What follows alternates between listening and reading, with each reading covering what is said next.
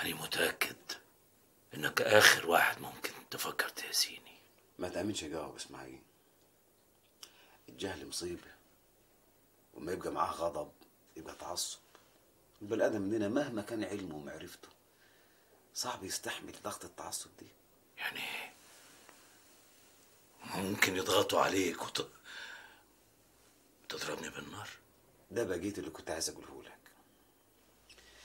شوف يا فتح الله أنا لا هقدر أسمع كلامهم واخد بطاري منك ولا خليفهم وأفضل عايش تحت الضغط دي. عشان كده أنا ههج. تهج على فين؟ ترجع تاني برا برا الشام؟ ما هي فادية تتحايل عليا بس لا. أنا مش هسيب بلدي تاني. أنا هفضل قاعد هنا في بلدي. وأقف في الصف اللي عايزين ينوروها. طلعوها تاني على وش الدنيا بعد ما التراقة حبسوها 600 سنة في الضلمة. يمين بالله يمين بالله ماني فاهمك منين عاوز تهج؟ ومنين عاوز تفضل في البلد؟ أنا مش هيجي من بلدي يا فتح الله. أنا هيجي من بلدك أنت يا عمدة. هسيب لكم بشنين. وأنزل أنا على كفر الشيخ أفتح مطبعته وأكمل حلمي. كلام بشير قلب ميزان دماغي حسسني إن المسؤولية اللي عليا أتقل من جبل بحاله خرجت من عنده مزاجي متعكر والهم معشش في صدري. وهفت عليا قوي نوراي نوراي ومصطفى معقولة يا ابن الحاج إسماعيل؟ معقولة تصبر على فراقها وما تشوفش ابنها منك الوقت ده كله؟ بس هتعمل إيه؟ ما أنت ما تقدرش تهرب زي صاحبك. بالإذن يا سيدي. خير يا شرف. المندوب لقوه وجابوه لجنابك. لقوه وجابوه لجنابك. ليه كنت تايه ولا كنت هربان؟ وإيه حروف الجيم الكتير اللي لازقة في سقف حلقك دي؟ خلاص خلاص يا منحوس. إذا كنت أنا منحوس فده منحوس سامع يا سيدني؟ يرضيك الكلام ده؟ معلش يا شرف امسحها فيها المرة دي. روح اعمل له شاي من اللي بتعمله لنفسك يلا. شي تقيل. ادي البيضة وادي اللي شراهي وادي اللي سلقه وادي اللي قشره وادي اللي كله وادي اللي قال حجة حجيجة هقول لسيد بالراحة يا بنت على الولد ما تضحكوش بالجوي كده. لا يشرك وتجيله زغط. ما تخافيش يا سيد أني بس بشغله علشان تفضل المفرش اللي في إيدي. إلا قولي لي يا سيد. أنت ناوية تفرشيه هنا في مقعدكم ولا ناوية تفرشيه تحت في مقعد العمدة؟ ولا في أي حتة في الدار هنا. أمال فين؟ في الدار الجديدة. دار العمدة. فتح الله الحسيني عمدة بشنين دار تليق بمجام مراته الجازية هانم وإسماعيل ابنه العمدة اللي جاي. يا حلاوة يا ولاد. ودي لقاها فين سيد العمدة دي؟ بخت لا تكون دار الحاج عبد الخالق اللي كانت عايشة فيها المصراوية دار عبد الخالق لعبد الخالق. الدار الجديدة لسه هتتبني وإن شاء الله هتبقى سرايا أحلى من سراية يوسف كمال. عفشك جاهز يا سيدنا؟ مش إيه يا أبو مخ ضلب أنا بسألك في إيه وأنت بترد في إيه؟ حلمك عليا امال يا سيد البلد. ما هي دي تودي لدي؟ العفش الجديد يخش المطرح الجديد إمتى؟ مش لما يبقى المطرح جاهز من مجاميعه ما هو ده اللي بقوله لجنابك باختصار يعني. السرايا بتاعت جنابك اللي في كفر الشيخ بقت زي العروسة مش ناقصها إلا الفرش وإنك تنورها وتشرفها أنت والست جماعتك المصرويه كل ده أنا عارفه. ما قلتش حاجة جديدة. يعني جنابك عايز اللي ما تعرفوش؟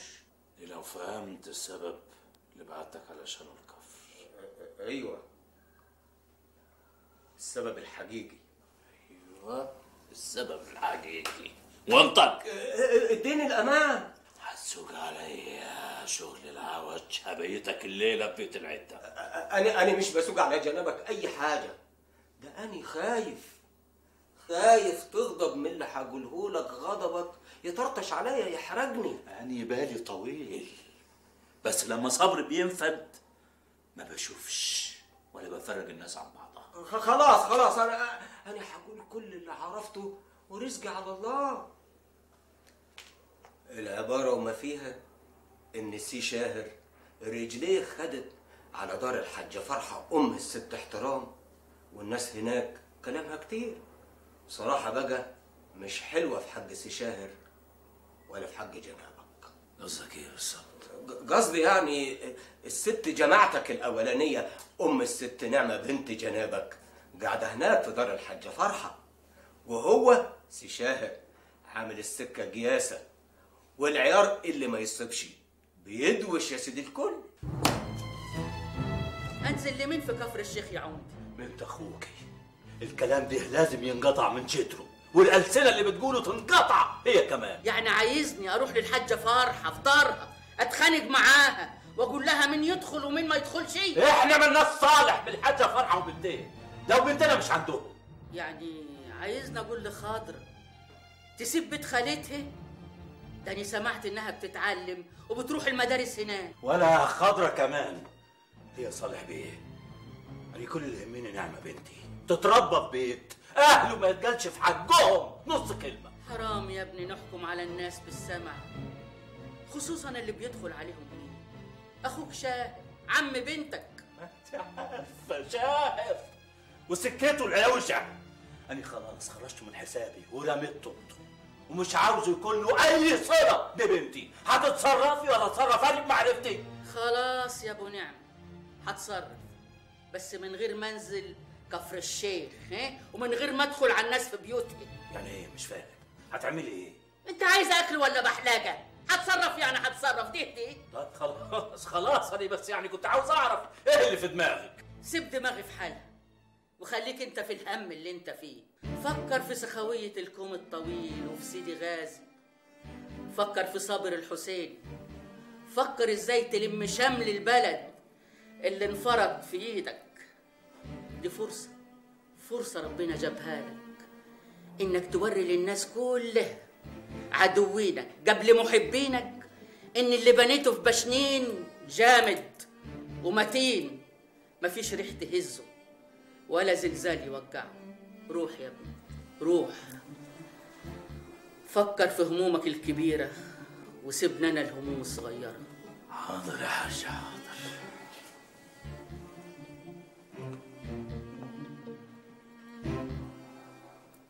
يا صديقة! نعمان استحاج قولي للغفير شهاب يحضر الكاريتا المقفولة ويستناني جنب الزريبة.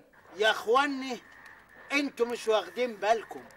اللي أنا فهمته انه سعد باشي مش موافق. إيه يا حلاوتك يا اخويا.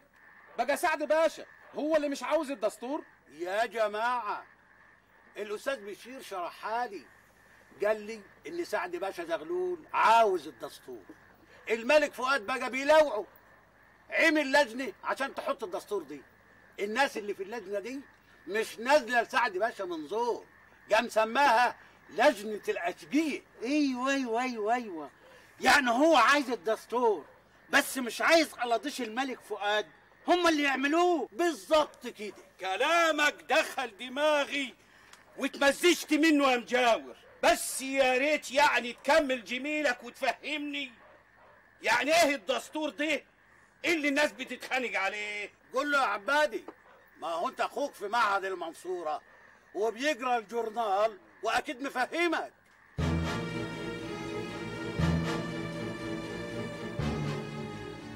انت سرحان في إيه كده يا عبادي؟ أصل كارته بيت العمده داخلة ميت السخاوي ودي اللي خلاني سرحان بفكر مين اللي راكبها. أما أنتوا ناس غريبة جو ما هي جايز الست أم العمده ولا جماعته ست الجازيه والست الجازية إيه اللي هيجيبها ميت السخاوي وهي ملهاش فيها حد خالص؟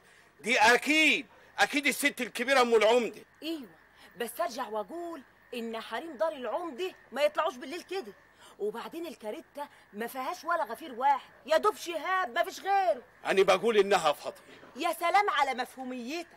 وإيه اللي هيطلعها فاضيه هالبت ما هم عاوزين يفسحوا الحصان يا خفيف انت؟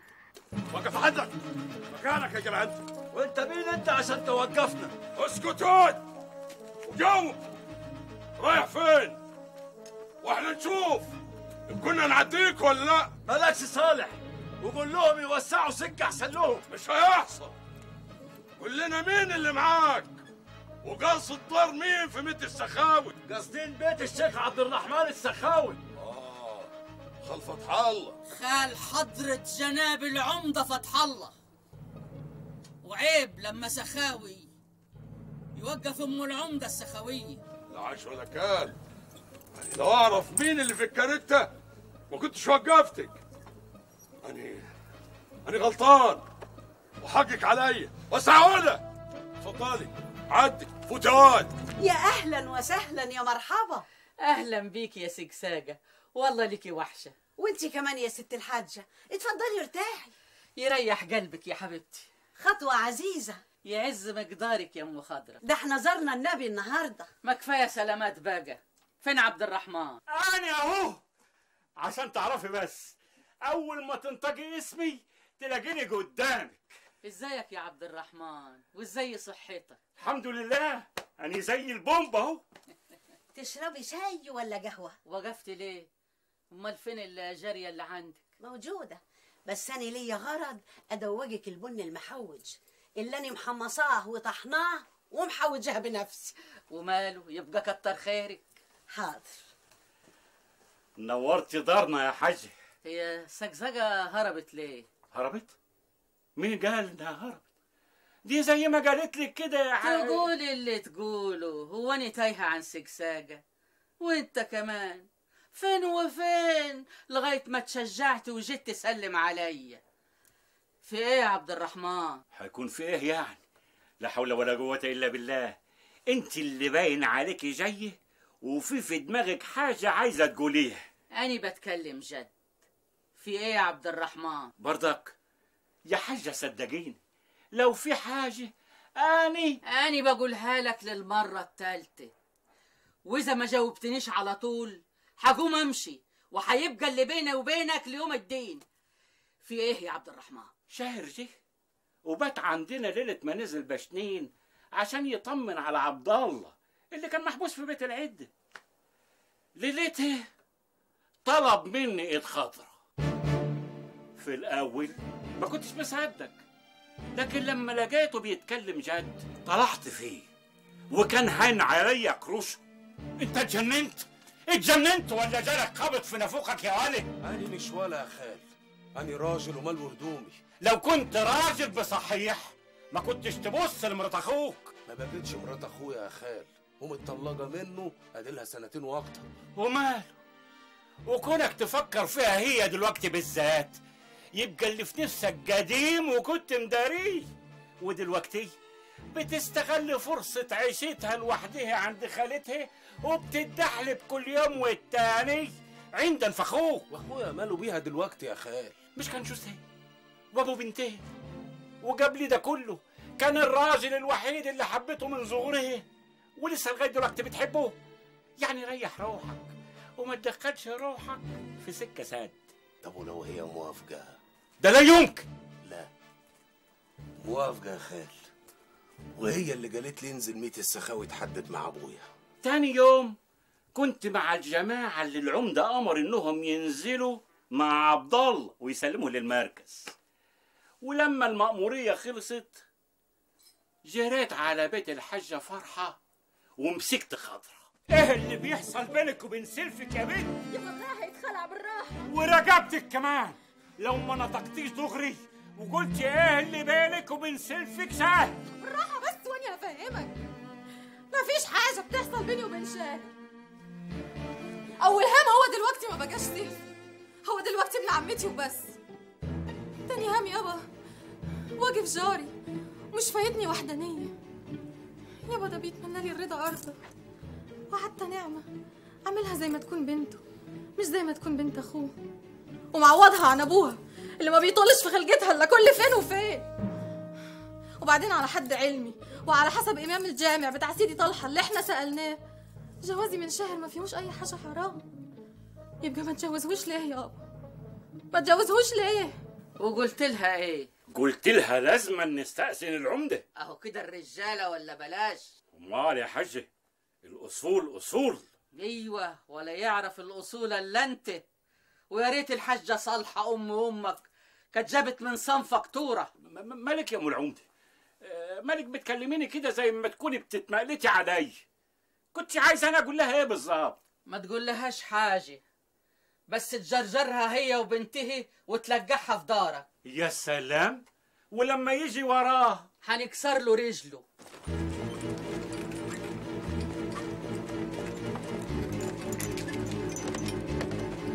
بس تصبح على خير يا ست هاني وأنت من أهل. أهلا وسهلا يا ست الحاجة سيدك نام يا شرف؟ لا لسه ما نامش مستنيك جوه ومين اللي قال له إنني خرجت؟ أصله طلع فوق ما لقاكيش. والظاهر كان عايز جنابك في حاجة مهمة وصديقة قالت له. تفتكري؟ الراجل الطيب خالي عبد الرحمن. هيقدر على حاجة فرحة واحترام بنتين بس يقدر على بنته. يقدر على بنته. اذا إذا خلق غضب الحكاية. تعالي يا أمة تعالي. تعالي اقعدي جاري هنا وفهميني. لا يا لا. أنت اللي فيك مكفيك. مش عايز أقول لك كلام يحرق دمك. أمة اللي هتخبيه عني النهارده هيظهر بكره ما تخلينيش أنزل في نصاص الليالي لغاية بيت السخاوي وأجيب خالي عبد الرحمن واجربه واخليه يعرف كل اللي قاله لي كلمة كلمة. أنا من بكرة الصبح نازلة كفر الشيخ. اصبر عليا بس لغاية ما أرجع. ولما أجي هفرد قصادك الكلام كلمة كلمة. ياما خلاص! ما عادش عندي صبر خلاص. ما تخلينيش عندي صوت أكتر من كده. إيه دخل خضرة للحكاية دي. إيه الحكاية حكايتها هي يا فتح الله. فرحة واحترام ملهمش صالح. شاهر طلب من خالك إنه يتجوز خضرة وخضرة موافقة.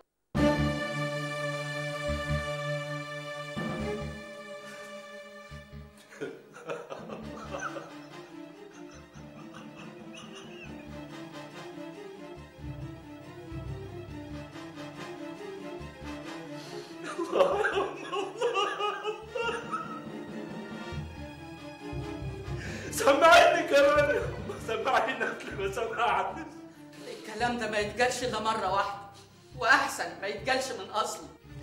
عارفة معنات الكلام ده إيه يا أمه؟ معناته هو معناته يا فتح الله. أخوك عايز يتجوز بنت خالي ولو إني مش بلع الجوازه دي وهعمل كل جهدي إن أنا أوقفها. لكن لنفرض إنهم صمموا على الجواز ساعتها هنقول إيه؟ ساعتها هنقول إن خضرة مصيرها تتجوز. ما هو مش معقول تعيش رهبة وهي لسه في عز شبابها؟ وخير إنها هتتجوز ابنني. عشان لحمني يبقى في حضنني. يا أمه أنا بسألك عن عن معنات الكلام المبتدأ. من جدره يا العمدة. يا ابني أنت بتقول إيه؟ أنا مش فاهم. اصحي يا عاشة اصحي. اصحي. الواد اللي استنى لما مرات أخوه. تو ما تطلق البدليه ويطلب يتجوزها إنه كان حاطط عينه عليها. وهي على ذمة أخوه كان بيشتهيها. يعني كان غرض وسخ والخيانة. استغفر الله العظيم من كل ذنب عظيم. لا يا حبيبي لا يا ابني. ما تخليش الغضب ياخدك للشطوط المالحة هتملك جروح. وتكويك وتكوينا كلنا معاك. هش اطلعي انت ارتاحي في مقعدك. وسيبيني. سيبيني لنفسي الليلة سيبيني إيه اللي خلاك ولعت النار في صدرك بايديك انت عايز إيه من خاطرة. لسه بتحبها. وهي نوراي سابت حاجة فايضة لحد. فينك يا أميرة وحشاني لدرجة الوجع. وخلاص. ما بقتش قادر على البعد أكتر من كده. هاجي على أسبوع مصطفى. عايز أبرد النار اللي ولعة فيا دي ومحدش هيطفيها لي غيرك. بقول إيه يا شرف؟ مش الاتنين نازلين كفر الشيخ؟ ليه جنابه ما يركبش مع الحاجة الكبيرة؟ طب وإيه اللي دخلك في السياسة العليا يا شهاب؟ ليه؟ هو كان الباب العالي ولا مولانا الخليفة؟ ده انت راكن في زمن بعيد قوي. ما عادش دلوقتي لا باب عالي ولا خليفة. دلوقتي بقى في مصطفى أتاتورك باشا وعصمت باشا النايب بتاعه. وحال السلطة دلوقتي بقى جمبرية ولا جرموهية ولا اسمك. يا حلاوة يا بلد. شرف ابن عطيه المحلاوي بيفهم في السياسة وأمور الحكام. تكونش هلت عليك. بركات سيدي الايرواني ولقيت نفسك الصبح صحيت من النوم بتعرف تقرأ وتكتب وتقرأ جورنال كمان. طب بس بس طر على قلبك ست الحاجة وصل صباح الخير يا ولاد. صباح النور والسعادة يا ست الحاج. صباح نادي وزي الفل يا ست الكل. اتفضلي. اتكلنا على الله. هو يا سيدي العمدة مش جاي معانا ولا إيه؟ سيدك العمدة وراه مصلحة هيقضيها قبل ما يسافر. انت مش قلت لي هتاخدني معاك مصر وانت مسافر؟ أيوه قلت على أساس إني كنت أنزل أسبوع مصطفى الخميس الجاي. بس جد موضوع قلق منامي. خلاني عاوز اعيش موضوع شاهر وخضرة؟ مين اللي قال لك؟ العصفورة اللي بينهم. لا وأنت الصدقة العصفورة اللي أنت حطيتيها جار باب المنظرة تتصنط على حديتي أنا وأم العمدة ليلة امبارح. ويا اياكي والايمانات الكذب. لا تعالى نعمل يا سيدي. قدامك حل من الاثنين. يا إما تجاوبيني بصدق على سؤالي يا إما هجلدك في بيت العده على كذبك ادي تحت رجليك يا سيد العمد ومش هقول لك غير الصدق. وقفتي جار باب المنظرة ليلة امبارح تتصنطي على حديتي أني والحاجة ولا لا؟ بصي لي وجاوبي على سؤالي.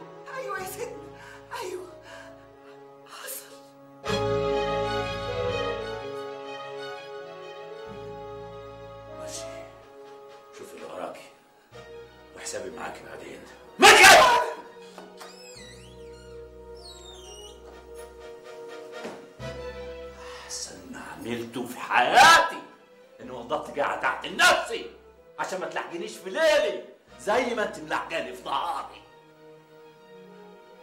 استنى يا عمدة هديك اسماعيل تسلم عليه. سلم على أبوك العمدة يا اسماعيل قبل ما يسافر. وقول له ما يكساش علينا قوي كده.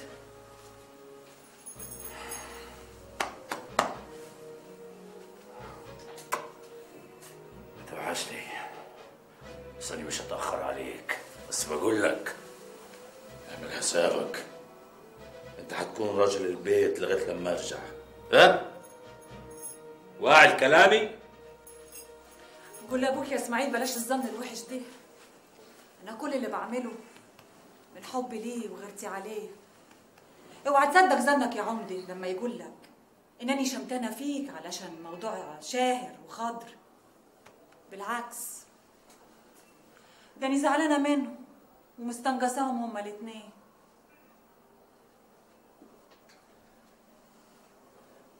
أنا هأخر سفري ساعة عشان تلحقي توضبي الحاجات اللي هتاخديها معاكي مصر ما تظلمنيش يا عمتي محدش بيظلمك يا خضر.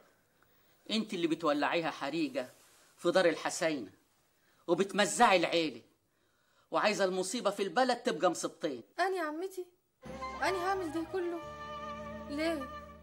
عشان ما قلت وماله. شاهر رايدني بالكتاب والسنة وأني موافقاه. أنا نفسي أبقى في حمى راجل. ما يبقاش غريب عني وعن بنتي. وأجله هيبقى ابن عمتي. عايزة راجل يحميك ويراعي بنتك. ولا قصدها في فتح الله. لا وإيه؟ ومنجية الوقت اللي غرقان فيه لشوشته وحامل هم الفرجة اللي جسمت البلد نصين. حسينة وسخوية. قلت انتهزها فرصة وأطعنه في ظهره. حرام عليك يا عمتي. أنا ما قصدتش الكلام ده خالص ولا خطر لي على بال. مش حال ما كنتيش عارفاني كويس. وانتي اللي مربياني. وكنت بقول يا عجلها يا تربيتها اللي ما وردتش على بنتي في المديرية بحالها. وربي يعلم قد إيه كانت حسرتي لما صممتي على الطلاق من فتح الله. عذرتك ساعتها وكبرت في نظري. وقلت والله طلعت عزيزة النفس وما رضتش تحط نفسها في الواطي. ودلوقتي بترمي ده كله وتدوسي عليه؟ اعملي معروف يا عمتي بلاش الكلام ده. أني لسه خضرة اللي انتي عارفاه أني بس عايزة أعمل لبنتي بيت. تكبر فيه بكرامتها متصانة. وما تستناش لما أبوها يرميلها لقمتها صدقة. ولا يجي يبص في وشها إلا يوم في السنة. مش عايزاها تشحت تشوفه كل فين وفين. إذا ما كانش عندك غير الحجة المسخة دي وفري كلامك. دي مش حجة دي علتي ومحدش يحس بالعلة. إلا اللي صابته يا عمتي. علتك في دماغك يا بنت أخويا. مش قادرة تنسي الفتح الله إنه اتجوز عليكي ومن ساعتها ما بتفكريش غير إنك ترد الكف اللي وجعك. والله الحرة ما تنساش الغدر يا أم العمدة. لكن تنسى العقل وبعد النظر. ما تفكرش إزاي هتتجوز أخو الراجل اللي كان حضنه ونسها وحماها. إزاي يا بنت تقبلي على نفسك؟ تخطي من فرشة الأخ لفرشة أخوه. إيه اللي بتقوليه ده يا عمتي؟ انت عايزة تحرمي حلال ربنا ولا إيه؟ جاك حل وسطك. خلصوا الرجالة من الدنيا لما تتمحكي في حلال ربنا. ربنا حلل حاجات كتير للضرورة ولما ما يكونش فيه ضرورة يبقى لا وألف لا. ضرورتك إيه يا خضرة؟ لما تفتحي سكة للشك والظن والفضايح. شك وظن وفضايح؟ ليه يا عمتي؟ أنا عملت إيه؟ بالك لما قلت الفتح الله حصل إيه؟ الشك.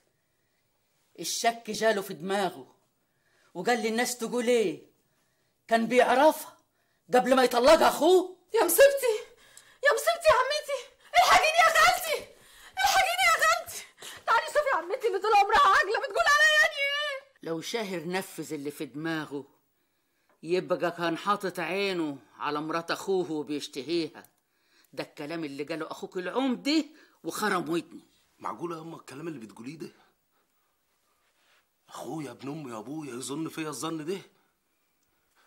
أنا صحيح عارف إن فتح الله شايل مني من زمان قوي وما هواش طايق لي كلمة والود ود أخفى من على وش الدنيا.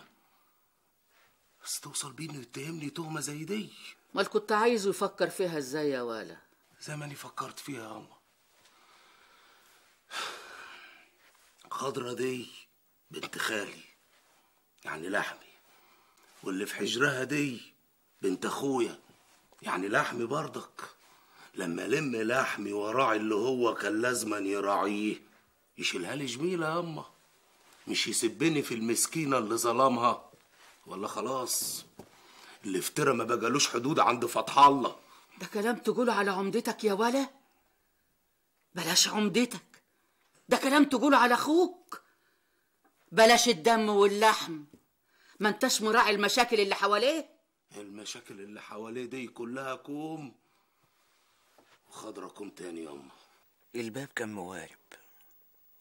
ما حسوش بيا لما دخلت خالص. وبعد شوية كان صوتهم عالي الرب السما. ومن كلامهم كده فهمت الموضوع اللي بيتكلموا عليه. يا خبر أبيض. يا خبر أبيض يا شاهر. كان شعوري ساعتها إن شاهر بيلعب بالنار وإنه حشر نفسه في ورطة ملهاش حل. دول كله تمام يا سيدي. وايه اللي تمام يا شرف. الزيارتين جاهزين وتحملوا على كفر الشيخ مع الغفير. وهيستنوا جنب التنبيل بتاع جنابك في الموقف العمومي. واني اني جاهز للسفر معاك يا جناب العمده ناوي تتوه مني في المحروسة زي المرة اللي عدت. أنا فداك يا جناب العمده هو العمدة مسافر ولا إيه يا أولاد؟ هات أبوك الشيخ حامد. وخلي الجارية تبلغ الجماعة عشان نمشي بدري. يلا. السلام عليكم يا عمدة. السلام ورحمة الله وبركاته. أهلا وسهلا يا مولانا. أهلا وسهلا. تفضل استريح. تفضل. ربنا يريح قلبك. أنا عارف إنك محتاج الدعوة دي يا فتح الله حاسس بالكرب اللي أنا فيه يا شيخ حامد. قول بالكرب اللي كلنا فيه معاك يا عمدة. لكن إن شاء الله ربنا هيجيب الفرج من عنده عن قريب. المهم الحمد لله إن أنا لحقتك قبل ما تسافر. خير يا مولانا. لازمك مصلحة قضها لك من مصر. لا يا عمدة. أنا جاي أتكلم معاك في حاجتين. أولهم ألوان أبو حجر. عاوزك تقوم مقامك طول مدة غيابك. ألوان أبو حجر كلام كلام إيه ده يا مولانا؟ ما إحنا بقالنا كم مرة؟ أنت اللي بتقوم مكاني. ماني عارف بس افهم قصدي. الظروف المرة دي صعبة والأحوال ما تطمنش والجماعة بتوع عباس السخاوي وبكر ابن أخوه كل يوم بيكتروا وفي الحالة دي لازم يكون مجامك واحد يكون بتاع أمن متودك على شغل الحراسة وحماية الأملاك والأرواح. يعني بالاختصار كده واحد زي علوان تضمنه يا شيخ حامد؟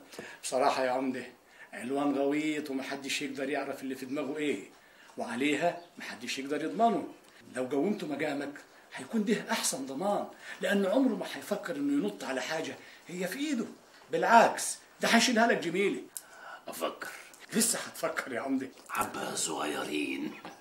لغاية لما تقول لي على الحاجة التانية اللي انت طالبها مني. ماشي يا عمدة. شوف يا سيدي أنا عاوزك وأنت مسافر مصر تاخد رضوان أختك معاك وتزورها أهل البيت. ما تبصليش كده. أنا أصلي نمت جار مجام سيدي محمد القرواني بعد ما صليت بيكم الفجر. جاني في المنام. وقال لي قوم يا حامد. بلغ العمدة إن أخته مطلوبة في الديوان. ديوان إيه يا شيخ الجامع؟ نظر يا رئيسة الديوان. نظر يا أم هاشم. بالإذن يا سيدنا الجماعة جاهزين. أبلغهم ينزلوا؟ لا لسه شوية. روح اندهلي بسرعة على أبو حجر ولما يجي خليه يستناني. وأنا طالع فوق شوية ونازل على طول. طيب استاذن يا عمده تروحوا الجنة بالسلامة إن شاء الله. الله يسلمك يا مولانا الله يسلمك. مش هتاخر في مصر يا علوان.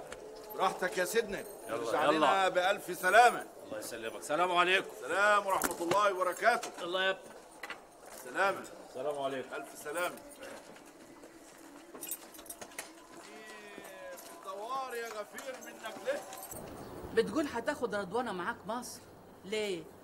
جرى حاجة؟ ما جراش يا حجة بس يعني بعد الظروف اللي حصلت دي محتاجة تغير جو وتتسلى. أيوه يا ضنايا.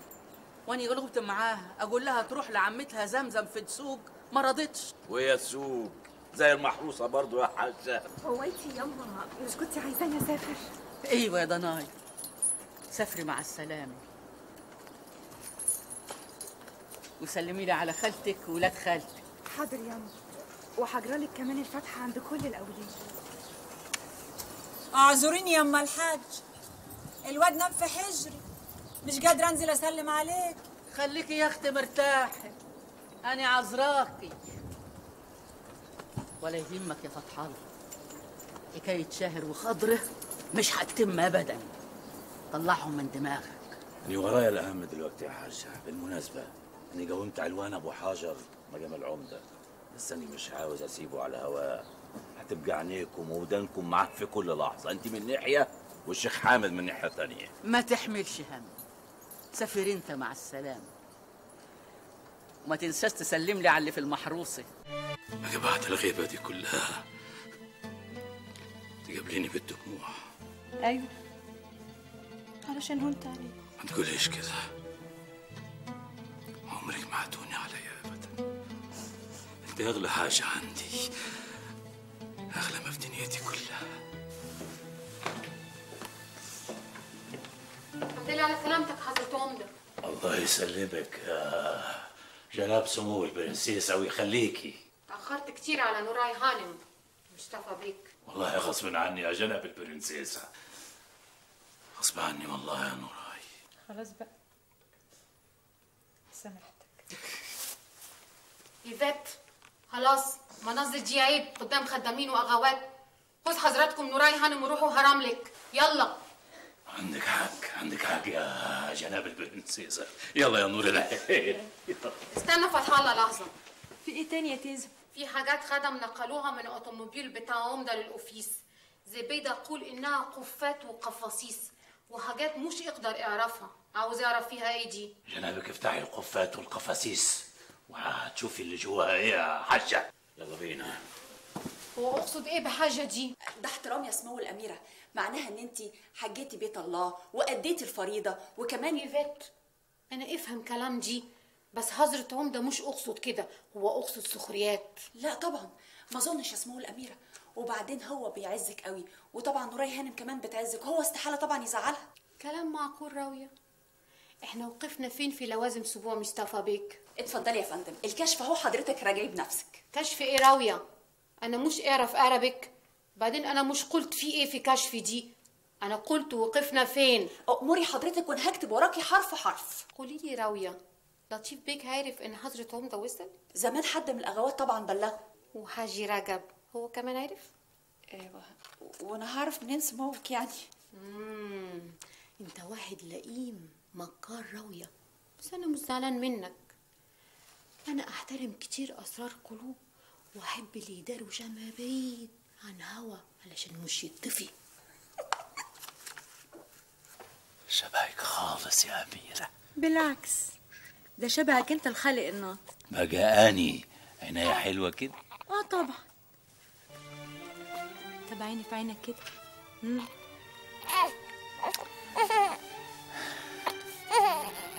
عارفة ده حتة صدقيني. وحته منك انت كمان. بس بصراحة يعني هو واخد مننا إحنا الاثنين. كنت وحشاني قوي يعني إيه يا توح خلاص؟ ما بقتش وحشاك دلوقتي؟ لا ده انت وحشاني موت. بقول لك إيه؟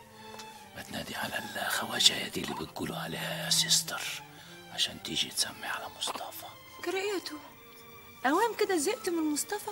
لا مصطفى هينام. وابو مصطفى هو كمان. عاوز ينام.